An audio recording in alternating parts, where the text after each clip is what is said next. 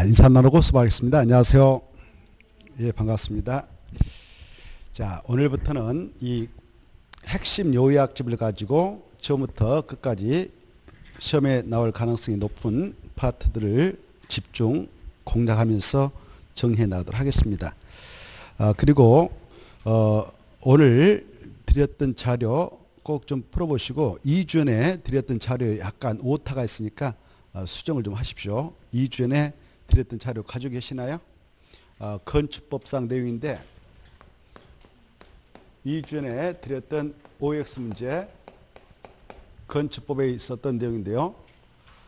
거기 1페이지에는 건축 절차 체계표가 있었고 뒷면에 바로 건축법 OX 문제가 있을 것입니다.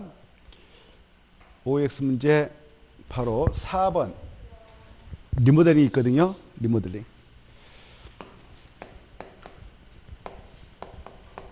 이 리모델링을 건축물로 노화학제 기능 향상을 위해서 바로 대수선하거나 그리고 일부 증축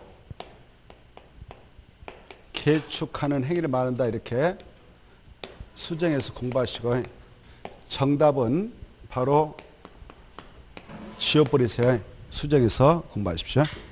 대수이라는 것은 대, 리모델이라는 것은 대수선, 정축, 개축하는 행위 이렇게 세 가지 행위를 말한다. 아, 그래 해설은 X 쳐버리고 수정해서 공부하시기 바랍니다. 됐나요? 자, 거기다 정축만 더 추가해가지고 공부하시면 되겠습니다. 자, 그러면 핵심 요약집을 가지고 정리해 나가겠는데 어, 오늘 4페이지부터 들어갑니다. 어, 핵심 요약집 4페이지 보시면 국토계획법상 내용을 보겠는데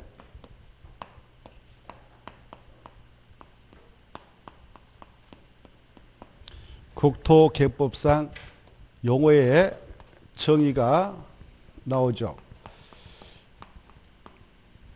이 용어의 정의가 총 21개 규정되어 있는데 이 21개의 용어의 정의 이름이 꼼꼼하게 좀 체크해서 공부할 필요가 있습니다. 아, 거기 교재 보시면 4페이지 국가계획이 나와 있죠. 이 국가계획에서 체크할 것은 뭐냐? 중앙행정기관이 그따 줄 것이고 가다가 국가의 그따 줄 것이고 그 다음에 계획 중 그따 줄 것이고 그 다음에 도시 군기본 계획 내용사항이나 도시 군가로 결정하여야 할 사항이 포함된 계획에다 딱줄 것이고 그 중에 포함된 계획 할 때 포함했다 중요표 포함이지 재해 금에 틀리겠다. 과거에 한번 재해 이렇게 출제된 바 있는데 틀립니다. 국가계란 것은 바로 조금 전에 했던 그런 여러 가지 계획 중 바로 도시 군기본 계획 내용상이 포함되어 있거나 도시 군가로 결정해야 할 사항이 포함된 계획을 말한다 이렇게 받으시고 그 다음에 2번 2번도 여러 번 출제된 바 있는데 이 광역 도시계획에서 키포인트 광역 도시계획 무엇이냐 그러면 이것의 장기 발전 방향을 제시하는 얘기다 이렇게 돼 있죠. 이걸 꼭 아셔야 돼요. 이게 뭐냐 그러면은 바로 여기에서 힌트 잡아가지고 광역 계획관, 광역 계획관 이렇게 이 동그라미 친 것을 꼭 체크해서 거기에 광역 계획관 그 말했다 포인트 잡아요. 광역 계획관이지 시험에서 광역시 이렇게 나왔습니다. 그럼 틀려요. 특별시 이렇게 나왔습니다. 틀립니다. 특별시도 아니고 광역시도 아니고 뭐다? 광역계획관. 그 내용을 이따 우리가 또 봅니다. 그 다음에 가로 3번 이 도시군계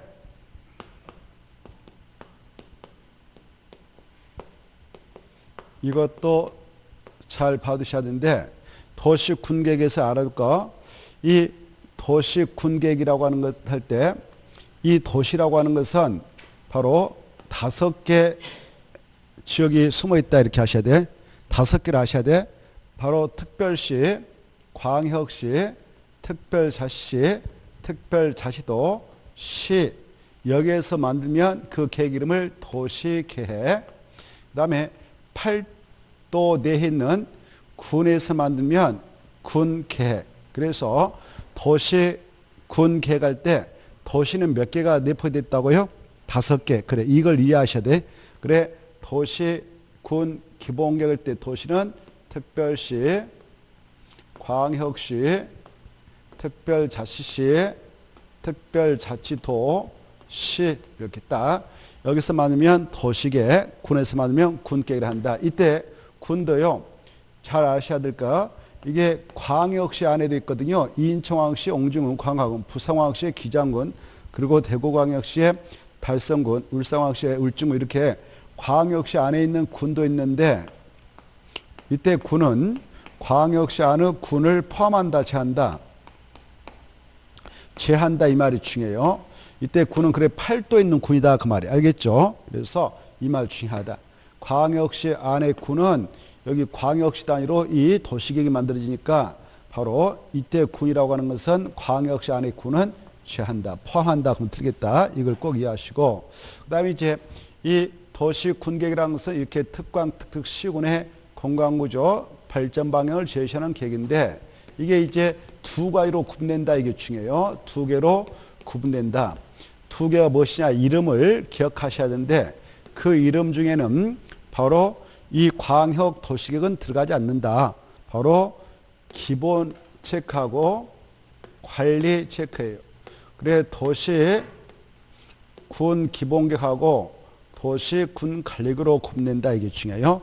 그래 도시 군 계획, 도시 군 계획 여기 보셔요. 도시 군 계획, 도시 군 계획. 그때 그 안에 기본이 보이고 관리가 보이죠. 그래서 이 도시 군 계획은 두 가지로 구분되는데 기본과 관리 이렇게 기억하십시오. 시험에 바로 도시 군 계획은 광역 도시 계획과 도시 군가로 구분된다 이렇게 출제됐는데 틀려요. 두 가지를 꼭 아시고 그다음에 이제 이 기본계획, 이 도시 군 기본계획도 똑같아. 이게 도시 하면 다섯 개 지역, 군 하면 팔도 있는 군, 광역시 안에 있는 군은 죄 이거 똑같습니다. 이거. 그래서 이때 이 도시 군 기본계획이나 도시 군 관리계 똑같이 행정구역은 여섯 개가 나온다.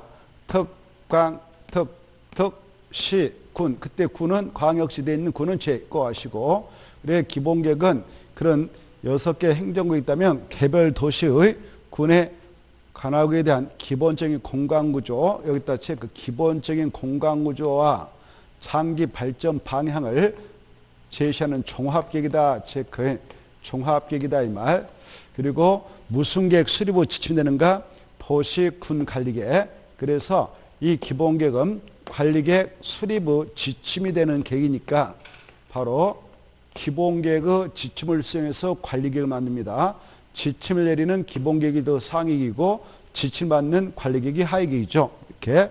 그래 이 내용도 꼭 아셔야 돼. 도시군 기본계획은 광역 도시계획 수립후 지침 되는 계획이 아니라 도시군 관리계획 수립의 지침이 되는 계획이다 이렇게 하시고 그 다음에 도시군 관리라는 것은 이제 금방 그런 특광, 특특, 시, 군의 토지가 있다면 그 안에 있는 토지에 대하여 개발 할 곳을 또 정비할 곳을 그리고 보존할 곳을 결정해 주기 위해서 수립하는 토지 이용계획입니다. 토지 이용계획. 개발과 정비와 보존을 위하여 수립하는 토지 이용계획이 무엇이냐 그러면 관리계획이 나와야 된다. 이렇게. 그래 이 관리계획을 통해서 바로 결정해 나갈 수 있는 내용이 총 6개가 있다. 이 6개가 무엇이냐 이걸 아주 중요시 해 가지고 알아둬야 합니다. 다시죠. 첫째, 용도 지역, 용도 지구의 지정과 변경, 그 다음에 용도 구역인 개발 제한 구역, 시가와 조정 구역, 수산자원 보호 구역, 도시장 공격의 지존과 변경, 그 다음에 기반 시설의 설치 정비 그 다음에 도시개발 사업이나 정비 사업에 관한 계획, 지구 단위 계획구역의 지정과 병행한 계획과 지구 단위 계획구역 지정 또는 병행한 계획과 지구 단위 계획, 입지규제 최소구역의 지정과 병행한 계획과 입지규제 최소구역 계획 이 여섯 가지를 무슨 계획으로 결정하는가? 도시, 군, 가유로 결정한다. 이걸 기할 때 용, 용, 용, 기, 사, 지, 이 이렇게 해서 철저하게 머리에다 넣도록 하셔야 됩니다. 자, 거기까지를 잘 헤아려 주시고 그 다음에 이 가로 4번 여러 가지 행정계획에 관계가 나 있죠. 조금 전에 보았던 그런 계획들과 관련해서 자, 이 국토의 계획 및 유형에 관한 법률에 의하면 이 국토라는 공간, 국토의 계획 및 관한 법률을 약속로 국토계획부라고 하겠는데 이 국토라고 하는 토지, 전국에 있는 토지죠. 전국에 있는 토지를 우리 행정청에서 바로 이 관리를 해 나갈 때 계획적으로 관리하고 있겠죠.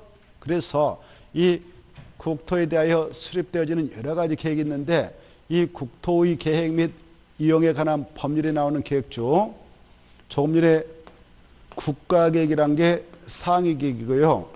그 다음에 두 개 이상의 시도를 묶어서 또 도 두 개 이상의 기초 자산시를 묶어서 광역 계획권을 정하고 그 장소의 장기 발전 방향을 하는 광역 도시계획이 있고요. 그 다음에 개별 도시에 대하여 군에 대하여 수립되는 도시 군 계획이 있으며 그리고 이 도시 군 계획도 다시 기본 계획하고 관리 계획이 있다라고 할 때 아까 기본 계획이 관리 계획에게 지침을 내려주니까 기본 계획도 상위 계획이죠. 이 기본 계획이라는 것은 개별 도시 군에서 각각 하나씩 만듭니다. 아까 서울특별시 이렇게 있다면 여기서 하나 만든 거죠. 종합계획으로서. 인천왕시가 되면 인천왕시도 하나, 그리고 세종특별시도 하나, 제주특별시도 하나 이렇게, 그리고 어, 그 각각 시에서도 그리고 군에서 하나 만들죠. 종합계획이니까. 그런데 그 안에 아까 개발과 정비와 보존하여 결정해 나가는 관리계획이라는 것은 여러 개가 만들어져서 확정됩니다. 이렇게.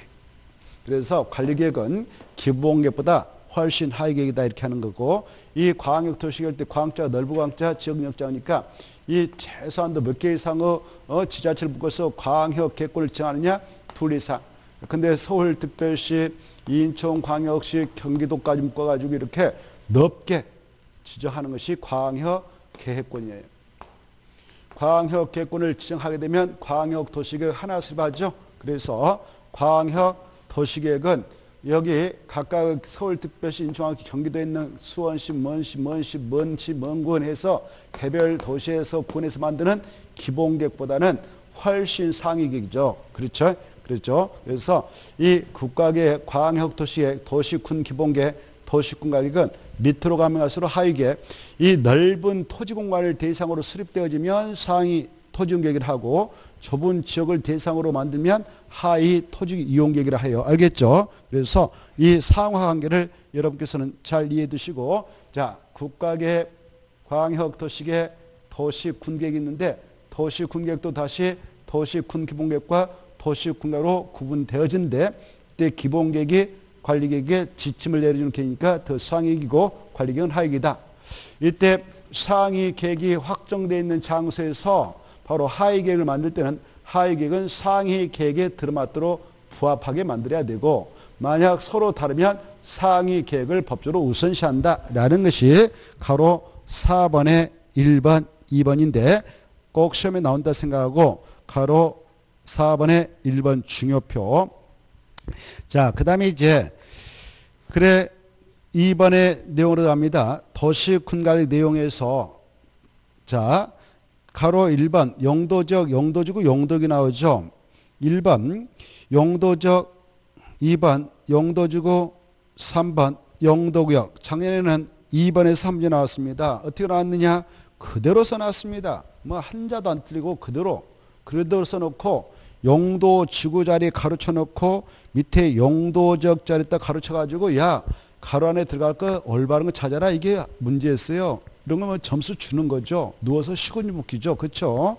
그래 공법 딱 열자마자 이게 나오는데 얼마나 쉬워요? 작년에 너무 쉽게 나왔어요. 그래서 올해는 쉽지는 않을 것이다 이렇게 돼요. 여러분 그래서 정말 올해 정말 복을 받으신 분들이에요. 공부를 많이 해야만 합격할 수 있으니까. 자, 근데 좀 하면 다 합격하십니다. 자, 그래 이 용도 지역, 용도 지구, 용도 구역을 다 묶어서 써서요. 토지 이용 규제를 하기 위한 거라고. 그래 이게 뭐 하려고 지정하느냐? 토지 이용을 규제하기 위해서 세 개 묶어서 토지용 규제. 그때 토지용을 규제하기 위해서 지정한다 했는데 이 국토인 토지가 있다 이렇게 그러면 이 국토인 토지에다가 1차적으로 바로 땅의 쓰임새인 용 자가 쓸 용자거든. 쓰임새를 딱 지정해줘요. 야 이렇게 이용해 라고 지정하게 되는데 그걸 용도지역이라 해요. 그래 이게 1차적인 거예요. 이걸 지정할 때 우리가 하나 아니죠. 공익시 주체인 국토교통부 장관, 그 다음에 시도사, 그 다음에 대도시장이 하는데 대도시장 이네들이 도시군가로 딱 하잖아요. 어, 그때 용도적은 보세요. 용도지역이라고 하는 것은 아시죠? 전 국토가 있다면 야, 이 전 국토를 다시 변형시켜서 이걸 이렇게 변형시켰다. 그래 이 국토를 이용할 때 국토를 이용할 때 국토인 전국에 있는 토지를 전국에 있는 토지 전국에 있는 토지를 전국에 있는 토지를 국토라죠. 국토를 이용을 함에 있어서 규제를 해버리는 거죠. 이 국토는 알게 모르게 지금 다 지적도라든가 임야도를 통해서 다 필제가 나눠져 있죠. 공부했죠. 그런 거. 그때 대한민국은 사유재산권을 인정해서 각각의 필지에 대한 사유지가 많죠. 개인 토지 소유. 그렇죠? 국공유도 있지만. 그때 사유지를 가지고 있는 친구들이 내 따니까 내 마음대로 이용한다라고 할 때에 어떠 얼핏 생각할 때는 그렇게 하세요라고 하면 각자 입장에서 좋을정 싶어도 꼭 그렇지는 않는다고 그랬죠. 내 땅 옆에 다른 사람이 먼저 딱 와서 돈 많다고 해서 나는 땅만 가지고 있었는데 돈 많다고 해서 먼저 와서 연탄 공장을 딱 져가지고 가동시키고 있다. 속 터져버리죠. 오, 나보다 돈 많다고 해서 옆에 있는 땅주는 먼저 와서 유흥지점을 딱 만들어서 운영하고 있네.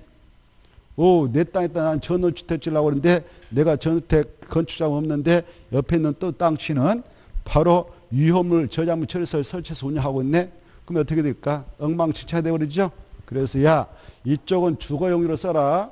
여기는 상업용으로 써라. 여기는 공장용으로 써라. 여기는 대놓고 개발 못한다. 라고 딱딱 나눠서 지정해줘요. 이네들이요. 우리가 그런 권한을 이네들한테 줬습니다. 어떠한 근거로? 법의 근거로. 대한민국 법치사니까 법은 누가 만들었어? 우리의 대기구이 국회에서 만든 거 아닙니까? 우리가 만든 거 똑같은 거예요. 국민들이 그렇게 힘을 준 거예요. 야, 너네들 그렇게 해서 관리해라고. 그래서 이분들이 그런 권한을 이임받아 가지고 그래 알았습니다 해서 이 땅의 씀을 딱딱 정해줘. 야 여기는 개발 용도로 써도 돼. 도시죠. 여기는 약간 개발도 하는데 보존해. 관리죠. 여기는 좀 보존 세게 해. 농림적. 여기는 더 세게 보존해. 재난기 보존적.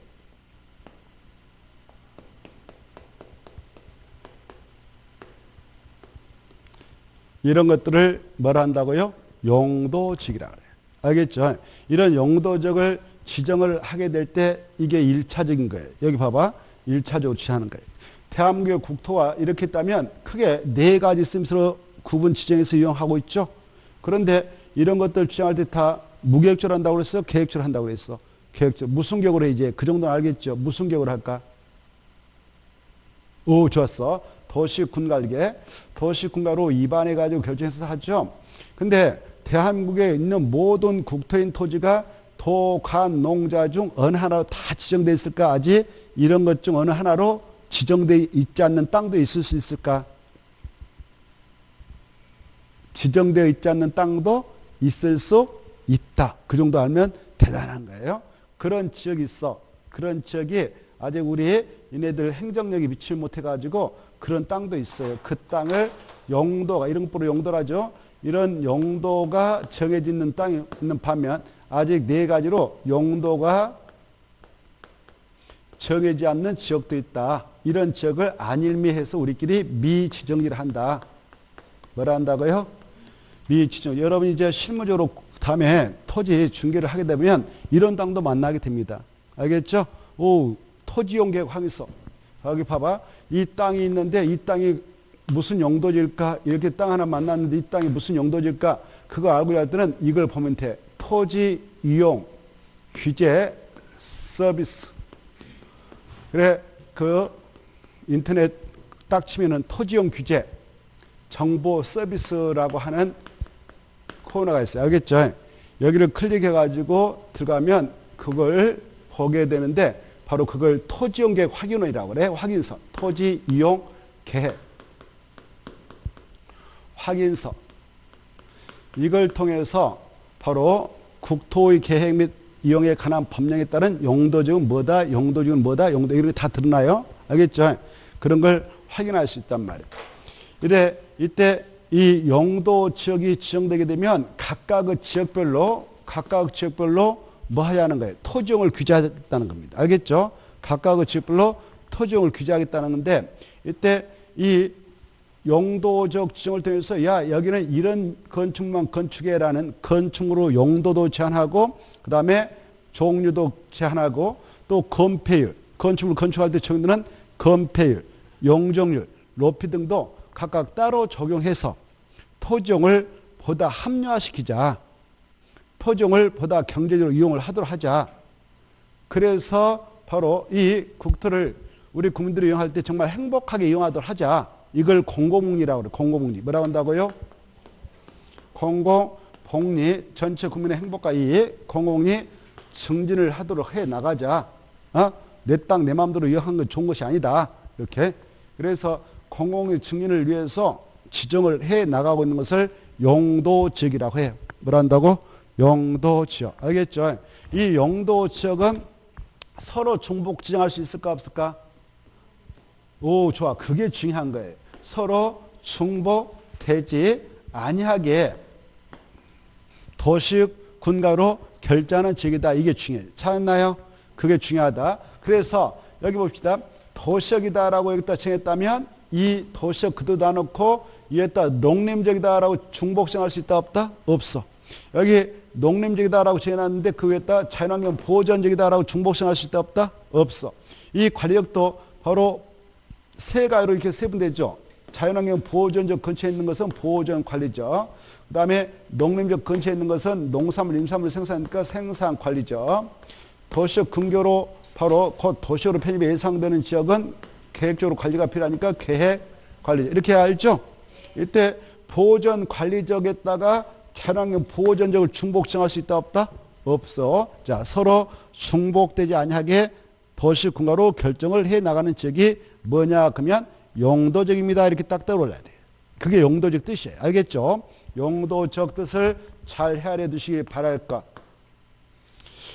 자, 그래 용도적 뜻을 정확하게 여러분은 좀 읽어두시고 어, 이때 용도 지역을 지정해 가지고는 바로 일정한 목적을 달성하기 힘든 경우가 있어요. 여기 보시봐. 오, 여기 보니까 개발을 허용하고 있는 도시역이 있는데 도시역을 들여다보니까 개발 용도로 이용을 하도록 했는데 오 여기가 일부 아주 멋있는 미관이 아주 화려한 그런 공간이 있어요. 어? 그래 미관이라 뭐 경관이 빼하는 경관. 그래 오랫동안 나무들이 잘 자랐고 그런 것들이 있어. 오 이거 개발을 허용해 가지고 싹 망가뜨리면 다시 복원하기 힘들겠다. 이거 수십 년 수백 년 걸린데 이런 거 하려면 그래서 이 경관을 그대로 보존할 필요가 있다. 그대로 형성해서 우리 후대한테 물려줄 필요가 있다. 관리해서 그럴 때는 여기다 조그만하게 바로 야 이 땅은 함부로 개발 못한다 미안하지만 그 쓰임새를 조그만하게 지정해서 규제버려. 이걸 용도지구라고 그래. 뭐라 한다고? 용도지구. 그런 장소에다 친 것이 경관지구거든. 뭐라고? 경관축을 이런 경관축을 용도축을 하는 것입니다. 용도주고 그리고 자 이런 용도적 지점만으로는 이 건축물 높이를 제대로 규제할 수가 없어.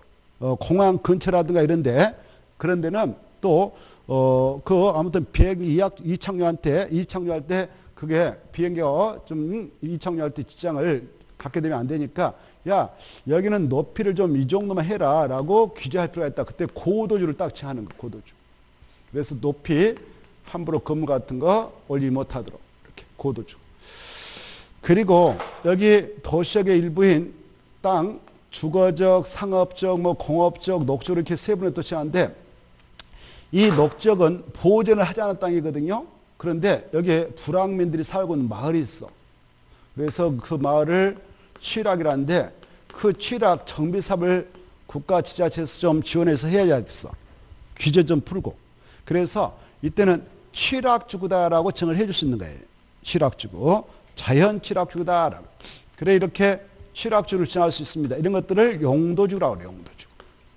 또 여기 자연환경 보존적이든 관리적이든 농림적이든 그 불악이 있다면 역시 여기다 취락주구다라고 다 지정할 수 있죠. 취락주. 취락주는 녹관, 농자 이런 데도 정하는데 그 다음에 여기 원래 이런 데 개발 못하잖아 함부로. 어? 이런 데 보존성이 세가지고 개발하기 쉽지 않아. 그런데 여기 자연환경 보존적에 오 뼈난 폭포가 하나 갑작스럽게 드러났어요. 산속에서. 그러면 그거 어때? 개발해서 관광에 유치해가지고 관광 수익을 창출해야 되겠죠. 그러하기 위해서는 여기다 그 폭포 근처에다가 관광 호텔도 지고 휴양설도 개발해 가지고 관광 때 애국 관광 때 오면은 거기 가서 풀어 가지고 한 달 동안 쉬게 하면 달러 몽땅 쓰고 갈 거 아닙니까? 관광 수익이 최고인 거예요. 굴뚝 없는 산업이었어요. 그래서 그럴 때는 우리 모셔다가 한 달 동안 휴양하고 가세요. 그러려면 그만은 시설이 들어가야 할 거 아니에요. 그럴 때 자연환경 보존은 그렇게 할 수 없는 땅이거든. 보존해라 했어. 그런데 여기다가 바로 야 관광 호텔 같은 거 휴양시설 같은 거 바로 개발해도 돼라고 개발 진흥구역을 지정해 버릴 수가 있는 거예요. 음. 그래 이렇게 관광형 개발 지구를 지정해 버리면은 그 지구는 뭐야? 개발은 된다 그 말이에요. 이해되죠? 이런 것들 뭐라 한다고? 용도 지구. 뭐라 한다? 용도 지구라고 그래. 그래 보시니까 보시다시피 용도 지구란 용도 지역이 이미 지정되어 있는데 그 위에다 중첩 지정할 수 있어 없어?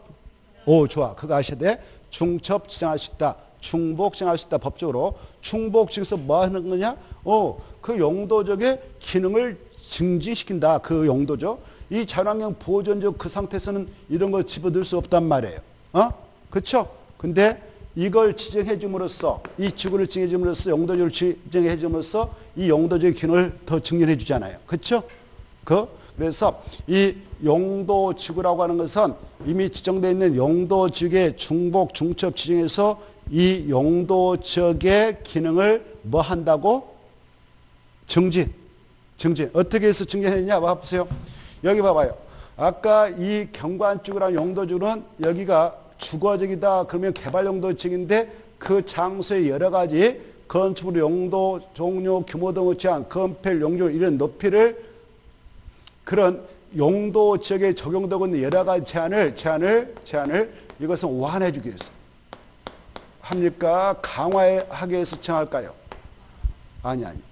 경관주국 이것은 여기가 주거적이다라고 지정되어 있는 용도지 있다면 그때 경관적으로 정하게 되면 그 용도적인 제한을 강화하는 격이 될까 완화하는 격이 될까? 다시 한번. 여기 야 여기 경관 보호하고 형성하고 관리해 나가려면 여기 개발하지 못해. 그래서 경관주거다라고 정했어. 근데 그가 원래 용도적은 주거적이었어. 그러면 이 용도적인 경관주는 이 용도적의 제한을 강화 적용하기 위해서 정한 겁니까? 완화 적용해 주기 위해서 정한 겁니까? 오케이, 오케이. 강화. 이렇게 일정한 용도 지구는 그 이미 지정되어 있는 용도적의 여러 가지 제한을 강화 적용을 해 주기 위해서 지정하기도 하고. 근데 여기요. 자연환경 보존적의 관광휴양 개발 징후가 증대했다면 이 개발 징후는 이 용도적의 제한을 강화 적용하기 위해서 정한 겁니까? 완화해 주기 위해서 정한 겁니까? 오 좋아 좋아 좋아. 그래서 이 용도 지구라고 하는 것들은 용도 지구, 용도 지구는 용도 지역 위에 중첩 지정해서 그 용도적의 여러 가지 제한을 때로는 강화 적용, 때로는 완화 적용하기 위해서 필요할 때 지정을 해 나가고 있고 그리고 용도적의 기능을 증진해 나갈 필요가 있을 때 저것이 무엇이다고요? 용도 지구다. 작년에 그게 함께 나왔다고 그랬죠. 자, 그거 봐두시고 그 다음에 이제 이 용도 지구의 지정이 2차적으로 이루어지게 된다면 바로 또 3차적 목적을 가지고 토지용을 규제하기 위해서 한 것이 있어요. 그게 뭘까? 용도 구역이 되는 거예요. 뭐가 된다고요? 용도 구역. 그래 용도 구역이라고 하는 것은 종류가 몇 개 있을까요? 용도 구역. 개수가 몇 개 있을까? 용도주가 아홉 개 있고 용도주가 아홉 개 있고 용도 구역은 개수가 몇 개 있을까? 아까 했는데 여기서 여기서 했는데 용도 구역은 몇 개 있을까? 오, 좋았어. 맞아, 맞아. 요 맞았어. 어? 다섯 개. 그러니까 다섯 개. 맞았어요. 야, 대단하셔. 정말 몰랐다는 거예요? 알고 계셨죠? 알면서도 모른 척했죠? 그래. 자, 개, 시, 수, 도, 일. 이걸 뭐라고 한다고요? 용도 구역이라고 네 가지, 다섯 가지. 알겠죠? 다섯 개를 용도 구역이라 한다. 이거 먼저 이해하시고 그것다 써버려. 용도 몇 개 있다고요? 다섯 개. 그래, 개가 뭐예요? 개가. 오케이. 개발 제한. 시는 시, 그렇습니다. 시가 좀 수는 수, 그렇습니다. 수산량 보고요. 도는 도시장 공격. 그다음 에 2번 입지규제 최소 이렇게 다섯 개가 있다 이렇게 하시고 이걸 이제 용도를 하는 겁니다. 그래 이 용도 구역이라고 하는 것은 이렇게 용도 지역 용도주가 지정이 되어 있을지라도 도저히 특수 목적을 달성하기 어렵다. 또 다른 목적을 달성해야 할 필요가 있다. 그럴 때에 그 위에다가 중첩해서 지정해 나갈 수 있는 게 용도국이다. 근데 이 도시 지역이 있는데 도시적 예각지대 지금 주거적, 상업적, 공업적, 녹색 시행되는데 이 지역 이렇게 개발해서 계속 뻗어가 버리면 도시가 물질사 확산될 우리가 있어. 그래서 그 위에다가 야 미안하지만 여기는 개발하면 안 돼. 이렇게 해서 도시적 예각지대를 원천 따 막아내요. 야 여기 개발 잘한다 해서 그린 배트로 묶어버리는 거죠. 이렇게 이렇게 하면은 그 밑에 있는 용도적 이제 힘 못 쓰는 거예요. 바로 힘 못 쓰고 일단 이거 군 조직하고 똑같아. 여기 봐봐. 군 조직하고 그래 여기 이 관계를 잘 이해하시라고 그랬죠? 용도적 아까 몇 차? 용도적. 몇 차적 토지용을 규제하기 시작한다고 그랬어요? 1차. 용도 지구는 몇 차? 2차. 용도는 몇 차? 3차. 이렇게 3차. 이거. 자, 그러면 봐봐요. 이 1차, 2차, 3차가 있다 그때 이걸 군조적으로 말하면 군은 별을 가지고 바로 바로 다스들 하고 있죠. 별세 개짜리가 있고 두 개짜리가 있고 하나짜리가 있어요. 어떤 게 더 센 거예요? 쓰리스타가 더 세죠? 투스타보다 원스타 알죠? 그때 이게 일이 뭐라고? 일이 여기서 여기 세 가지 중에서 일이 오케이 용도적 이가 뭐다고? 용도지구 3이 뭐다고? 용도 이 관계를 정확하게 하시면 끝나는 거예요. 알겠죠? 그래서 바로 여기 원스타가 있고 투스타가 있어. 이 땅에 이 토지에 원스타, 투스타, 쓰리스타가 동시에 딱 들어왔다 그러면 이 토지를 이용할 때는 누가 시킨 대로 이용하면 합법적일까? 누가 시킨 대로 땅을 이용하면 합법적? 세 가지 다 들어왔네. 지역, 지구, 구역이 다 있어. 구역이 시킨 대로 하면 되지. 구역. 용도구역. 스리타가 시킨 대로 하면 돼. 다시 이 토지에 용도적도 있고 용도주구도 있고 용도구역이 있어. 세 가지 다 있어. 그러면 누가 시킨 대로 하면 된다? 오, 좋아, 좋아. 그래서 용도 구역은 여기 이 용도적이 있던 용도 지구가 지정됐던 그것의 제한을 때로는 강화 적용을 해버릴 수도 있고 때로는 완화 적용을 해서 바로 또 다른 목적을 달성해 나가고자 하는 것이 용도기다 이 말이에요. 이해돼요? 근데 여기 봅시다. 여기 봐봐요. 여기 바로 2학년 넣고 여기 봐봐. 투스타 넣고 원스타하고 여기 봐봐. 이 토지에 원스타의 용도적이 있고 쓰리스타인 용도 구역이 존재.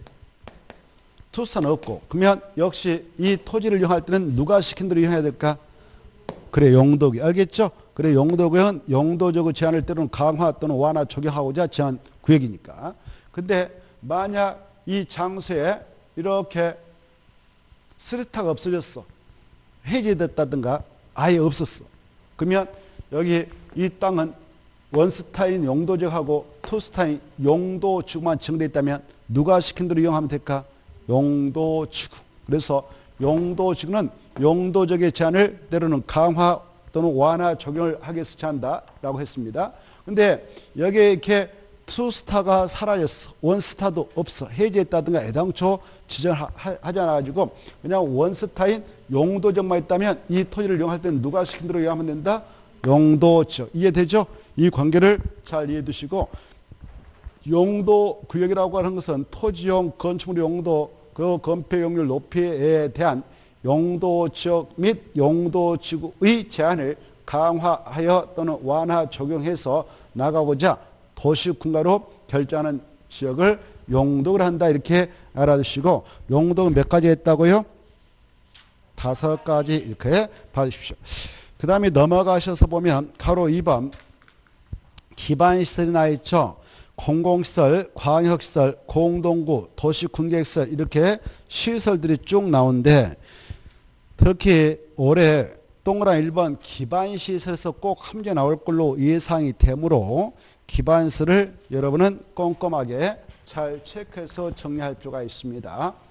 이 기반시설이 약 50여 가지 정도 되는데요. 개수가 그것들 성질이 같은 것들을 찾아서 7대 분류를 하고 있어요. 그게 7대 대분류를 해놓고 있는데 기반설이 뭡니까? 그러면 그것들을 다 묶어서 기반설 하죠. 그래 거기 보면 교통시설, 공간시설, 그 다음에 그 유통 공급시설, 그 다음에 공공문화체육시설, 그 다음에 그 방제시설, 그 다음에 어, 보건위생설, 환경 기초시설 이런 것들을 다 묶어서 네개로 뭐라고 한다고요? 기반시설 한다 이렇게 기반시 뜻이니까 이걸 좀 생각하시고 여러분이 이제 공부할 게 뭐냐면은 여기 환경 기초설은 다섯 개가 있다. 이거 다섯 개를 달달달 외울 거 알겠죠? 이거 시험에 나온다 생각하고 달달달. 그 다음에 여기 방제시설에 해당 거 하고 바로 환경 기초설에 해당 것을 좀 비교해서 알아둘 거. 여기 방제시설은 재예방을 하자는 시설인데 거기는 하천이 있죠. 그런데 여기 환경기초시설은 뭐가 있다고? 하, 수, 도. 이것부터 먼저 딱 구분해서 짝짓기를 잘해두시 바랍니다. 그래 하천은 여름에 물나기가 나지 않도록 그 물이 넘쳐지 못하도록 설치되어 이용되고 있는 것이 하천이죠. 그래서 재해를 예방하고 있습니다. 그래서 방지시죠. 근데 하수도를 위주로 해서 환경 기초시설에 해당하는 시설들은 환경 오염을 방지하겠다는 그런 취지하에 설치 이용되고 있는 것이죠. 그래 그런 것들이 뭐냐 하수도가 있고 물을 우리가 가정에서 아무 데다 버리면 환경 오염이 심하죠. 수질 오염이. 그래서 하수도에다 버리게 되고요. 그다음에 이 차는 폐차장에다 버리고 폐차장. 그리고 나머지 물질은 폐기물 처리 및 재활용시에다 버리고 그다음에 바로 이 빗물이 여름에 어마어마하게 동시에 내려가면 강으로 바다로 가서 쓰레기 몽땅 갖다 버려서 오염시키니까 일단 그 쓰레기 뜸이 일단 걸려야 될 거 아닙니까? 그래서 빗물 저장 및 이용시설을 설치해서 거기서 거르고 쓸만한 물을 우리가 다시 이용하고 있습니다. 또 환경 기술, 그 다음에 수질 오염 방지설 이렇게 다섯 개를 달달달 하시라고 했죠. 달달달. 그 다음에 이 방제 시설이라고 하는 것은 재해를 예방하지 않은 시설로서 하천 일단 물을 가다 놓자 여름에 저수지 웅덩이 크게 파서 어, 물을 가다 놓자 유수지 이런 것들 다 뭐다고요? 방제시설 그리고 뭐 방조설비, 방, 사방설비 이런 거 다 역시 그 방자 보이니까 그것들은 다 방시다 암기하시고 이 보건위생설정도 어, 또 알아두셔야 돼. 보건위생설은 작년에 대포 개수가 엄청 많았는데 세 개로 그냥 팍 줄여놨어. 너무 공부하기 좋게요. 그렇죠? 세 개밖에 안 돼. 보건위생설 우리가 건강을 위하여 이용을 하게 되고 우리 살아있는 사람들은 보건위생을 위해서 설치되어 있어요. 이 시설은 결국 우리를 위해서 만들어 놓은 겁니다. 바로 우리가 살아있을 때 건강을 위하여 이용한 것이 종합의료설이 그리고 이 세상 뜰 때 막 여기저기서 떠버리면 전염병 확산해서 생존자의 보건실을 위협합니다. 그래서 돌아가실 때는 장사실에서 돌아가시라고 하고 있어요. 그 다음에 개, 소 이런 것도 이 세상 뜨게 할때막 여기저기서 뜨게 하면 전염병 확산됩니다. 그래서 도추장 있는 거예요. 도추장. 이 세 가지 모두 다 정화, 그 보건 위생쓰다 이거 알아주십시오. 세 개밖에 안 되니까 꼭 알아주시고. 그 다음에 여기 교통시설을 보면은 교통시설, 도로, 절도, 공항, 항만, 주차장 있죠? 자동차 정류장 있죠? 그리고 그 차량, 검사 및 면허실 있죠? 이런 것들을 바로 여러분께서 잘 좀 받으시고 특히 여기 자동차 정류장 있잖아요. 자동차 정류장은 세 분이 돼요. 세 분. 이름을 쪼갠단 말이에요. 자동차 정류장을 세 분 하면 뭐가 있을까? 자동차 정류장은 세분 하면 몇 개가 나오는데 그걸 다음에 우리가 보도록 하죠. 자, 생각나는가요? 자동차 정류장으로는 이게 한번 기출됐기 때문에 우리는 한번 체크를 할 필요가 있어요. 자동차 정류장은 여기에 여객 자동차 터미널 그렇죠. 그 다음에 화물 터미널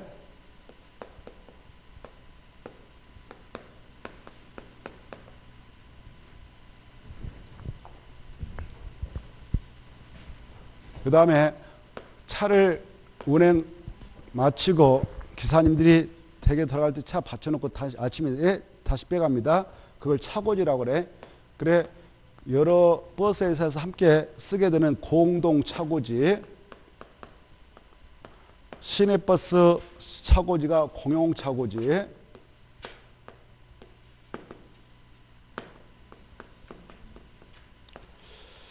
그 다음에 그 화물 기사님들 저 지방에서 저 서울까지 새벽에 물건 실어날립니다. 주무셔야 되겠죠. 좀 쉬었다가 해야 되겠죠. 그래서 잠시 차 받치고 쉬었다가 올라가시라고 화물 자동차 휴게소가 있어요.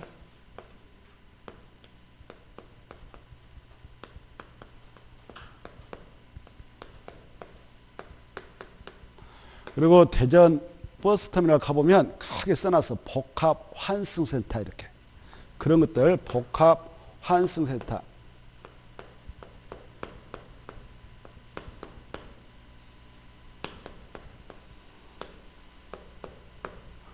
이게 뭐라고요?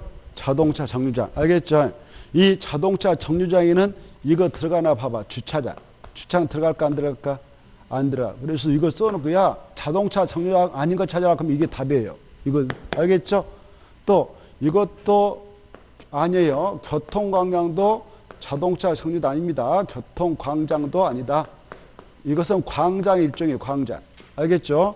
광장이지 자동차 정류 아니다. 이 정도는 좀 주의를 요한다 하겠습니다. 아시겠죠? 자, 그래 기반설에서는 이 정도를 먼저 딱 깨뜨리고 계셔야 돼. 그리고 이 유통 공업세를 보면 공동구가 있어. 공동구. 뭐가 있다고요? 공동구. 공동구는 기반설이요. 유통공업세다. 이거 받으시고 나머지는 가볍게 통과하죠. 그 다음에 이제 밑으로 내려가셔가지고 특히 이번에 그 자동 차량 검사 및 면허설이 용어가 새롭게 생겼으니까 그것 좀 한번 눈으로 찍어 놓으세요. 그 다음에 공공시설, 광역시설, 공동구를 잘 체크하면 되겠죠. 공공시설은 도로, 그 수도, 도로, 공원, 철도, 공공용 시설. 그 다음에 광역시설은 두개 이상의 지자체에 걸치는 시설인 도로, 철도 이런 것들. 그 다음에 둘 이상의 지자체가 공동을 위한 시설 뭐 이런 것들이 다 광역 시설입니다. 알겠죠? 자, 그 다음에 공동구는 반드시 어디다 설치해야 되는가? 지하에. 그 정도 보시고. 오른쪽 넘어오셔서 5번. 도시군계획 시설이란 기반시설 중 무슨 계획으로 결정난 거냐? 도시군관리 그 말 중에 도시 군가로 결정된 시설. 그래 이제 금방 우리가 보세요. 기반시설 어마어마하게 봤죠? 이제 금방 기반시설이 어마어마 많았는데 뭐 도로면 도로 이것들을 이렇게 도로면 도로를 여기다 설치하려고 한다.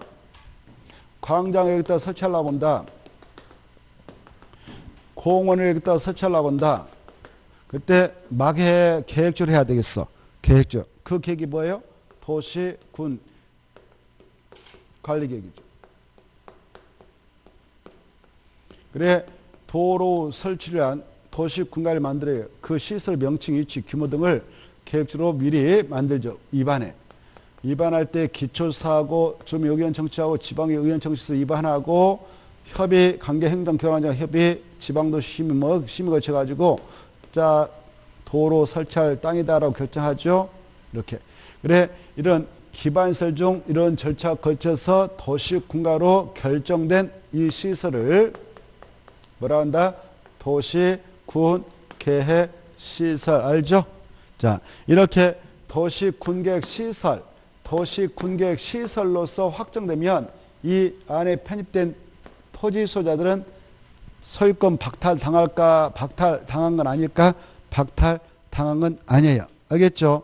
그래, 여러분 땅이 여기 편입됐다 그러면 그냥 도시 군계획 시설 부지로서 묶였을 뿐이지 소유권까지 박탈한 거 아니다. 다만 다음에 이 시설인 도로를 설치한다, 광장을 설치한다, 공원을 설치할 때는 그 시행자가 등장해서 수용을 할 수도 있다. 알겠죠? 뭐 할 수 있다? 수용. 그렇죠. 그리고 여기에 있는 땅들 대부분 아직 개발되지 않는 전답이 많이 포함돼요. 전답, 임야 같은 거, 잡종제 같은 거.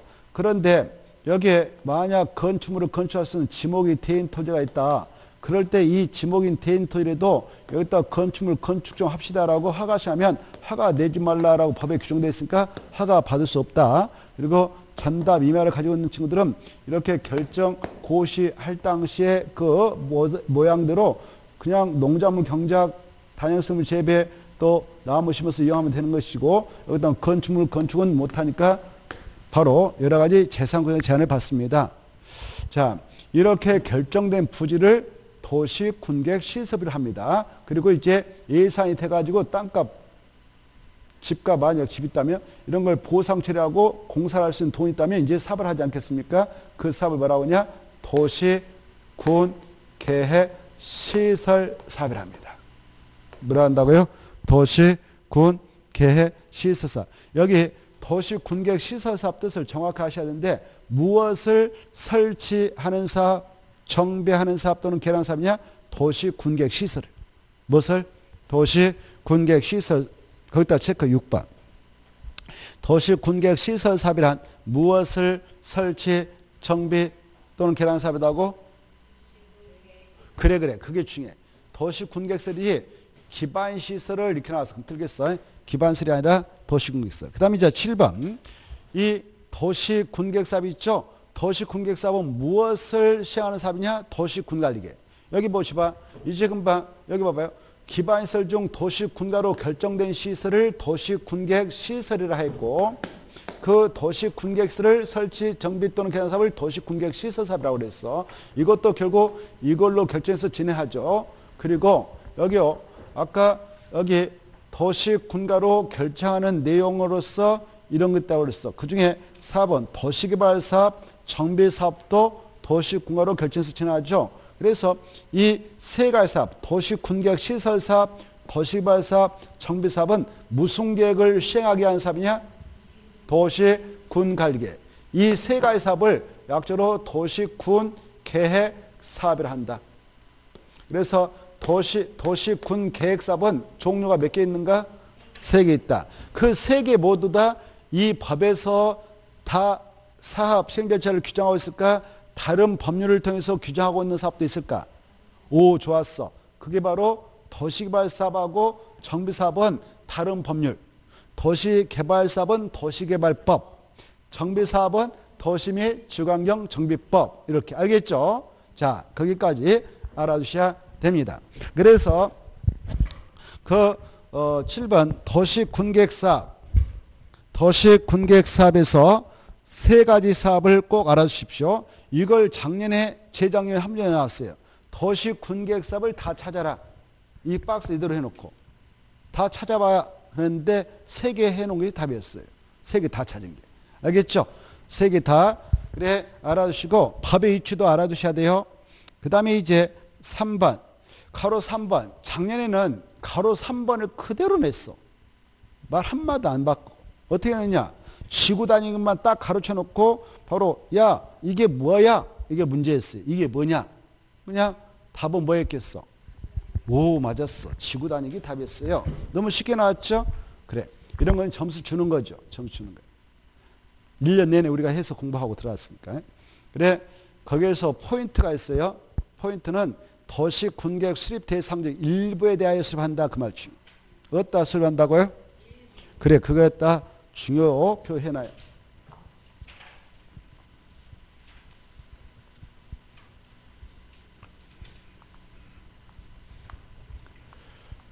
자, 그래 이렇게 조금 전에 했잖아요. 봐봐.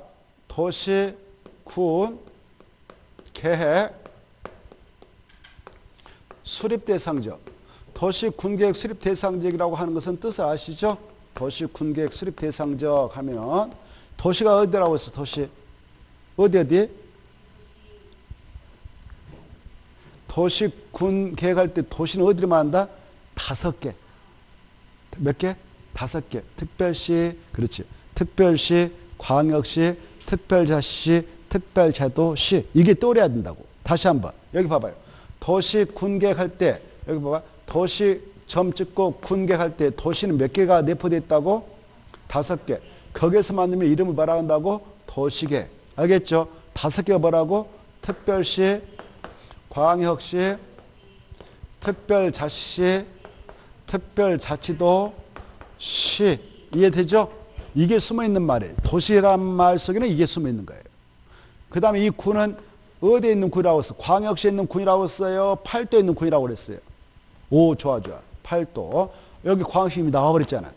알겠죠? 인천광역시, 용진군, 강화군 여기 속에 포함됐으니까 이 군은 팔도에 있는 군이다. 이렇게 이해하시라고 했죠?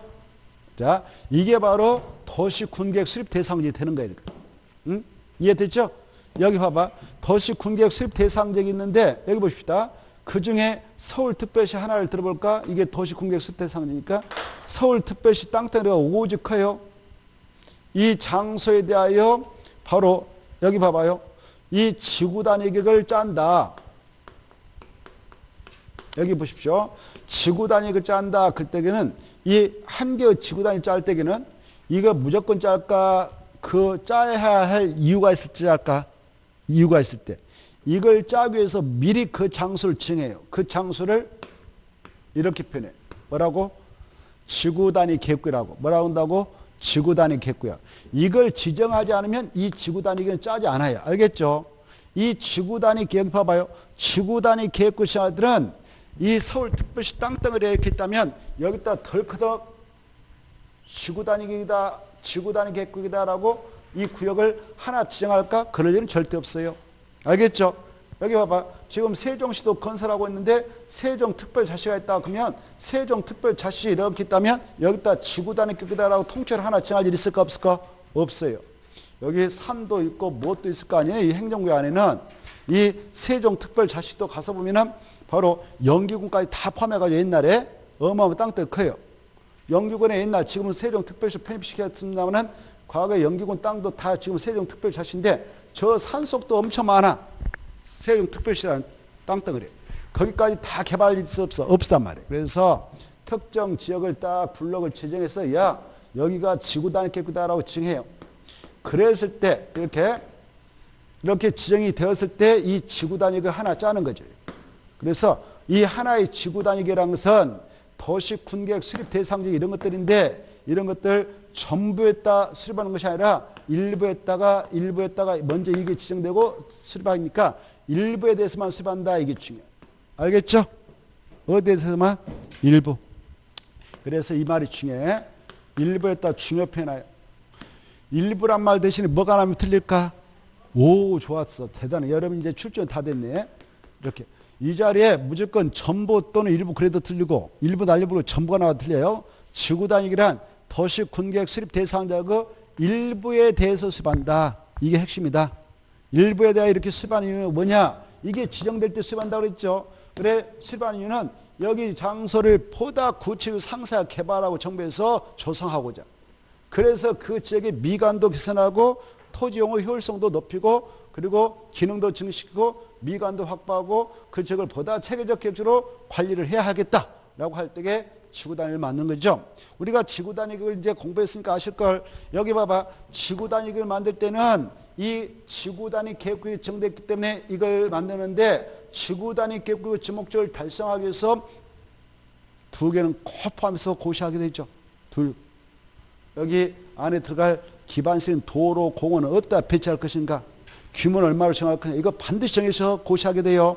그리고 각각의 그 블럭 안에 들어설 바로 여기는 아파트, 여기는 다세대, 여기는 초, 중, 고 이렇게 들어갈 건축물 용도를 정확하게 상사고도 구체적으로 딱딱 용도를 정해서 제한해 버립니다. 알겠나요?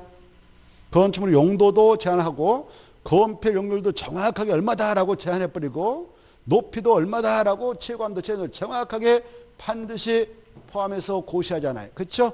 이런 것들을 필수 포함령이라고 했어. 그렇게 함으로써 그 지역이 한번 이 지구 단위에 하여 개발 정비가 되면 어때? 모양 새끼 탄생되겠죠. 그래서 미관도 개선하고 그 장소의 토지 기능도 시키고 그리고 양원한 환경을 확보하고 그 지역을 보다 체계적 계획적으로 관리하기 위해서 만든 계획이 지구 단위다.